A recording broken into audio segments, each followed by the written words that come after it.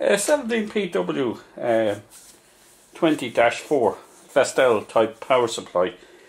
Uh, problem with it is that um, when I've been uh, measuring my 5 volts here, it was disappearing and shutting the set down after about 2 minutes uh, of running. And uh, also all my other voltages, my 24 volts uh, supply going out to my going out to my uh, LCD screen, that was disappearing as well. Um, so I started concentrating on this part of the power supply here. Let me see, can I get it? Be sure it's in the shot.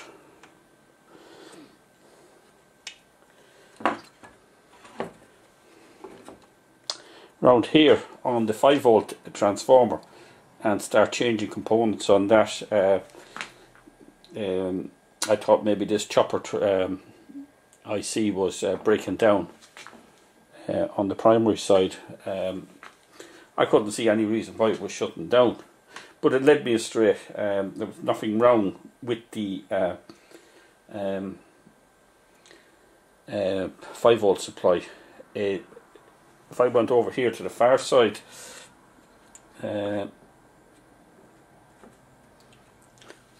up here. See, can I get a close shot of it?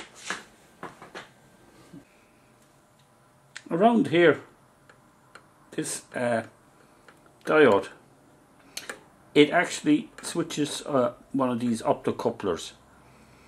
Uh, there's a couple of transistors, it brings them down lows, and what it actually does, it takes uh, takes down the uh, 24 volt supply and the 12 volt supply. But somehow or another, even though strangely I can't find on the service manual, um, any link, direct link between that and the uh, 5 volt supply. There has to be somewhat, but uh, as anyone that worked on Vestel knows that the power supply schematics are a bit, uh, bit of an experience. I'm just going to show you the section of the schematic where, uh, where it is.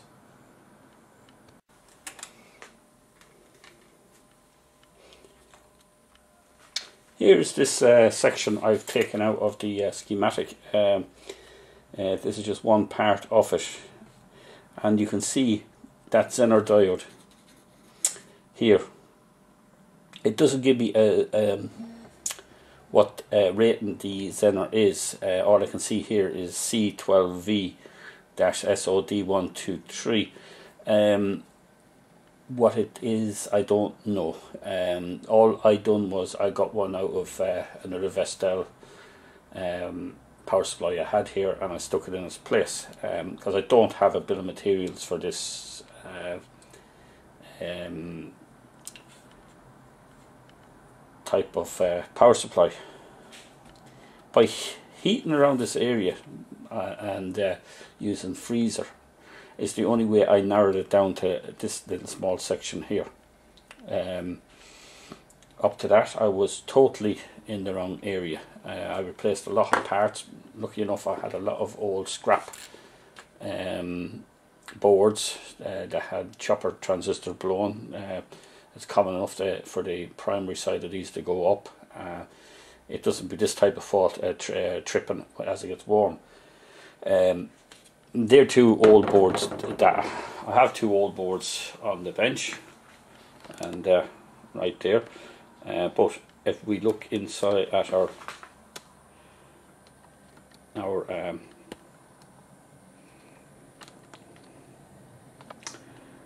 LCD um, that I have the power supply put in um, you can see from looking through there the backlights are still up working right there you can see that the, the light shining through the uh, metal part of the rear of the, the screen. We can measure our uh, voltages on the board. Uh, what I did was I took out um, the switch. On this particular board there's a switch uh, lead that goes off to a switch. I removed that lead so I was able to turn this board upside down. And I just shorted out the uh, two terminals that the switch normally goes on. Actually up at the top end, I don't know if that's in the camera or not. Uh, one second, we just go there. there's the uh, short on the li uh, link I put on it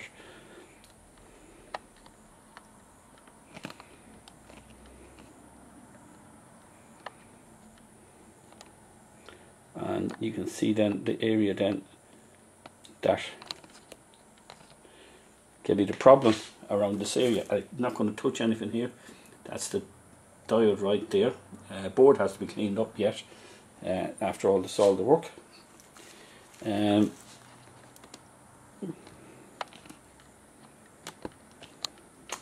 where I was measuring the 5 volts uh, supply is right here at this particular point. Um, just make sure it's in shot. Um, I'm getting my 5.19 which is about 5.2 volts. Uh, staying steady. Uh, it's been running now for about an hour after me replacing that diode. Um, I'm not going to go into the full amount that uh, I replaced um, until I took a different direction. Um, the 5 volt line really really did throw me uh, down the wrong path. Uh, you can get your read your 24, uh, 24 volts uh, line from around here, this area here.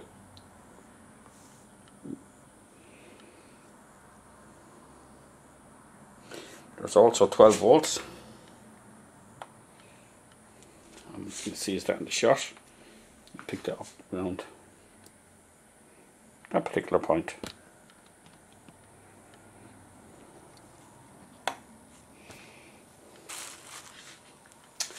Hope that uh, helps someone out there uh, that uh, has one of these tripping like that. It is an unusual fault uh, on one of these. And nine times out of ten when I get these coming in, they're, they're actually blowing up. There's a kit available um, for them that just replace, uh, replace all the components in the kit and away you go. But this one was just one of those that was a slight bit different. Um, thanks for watching.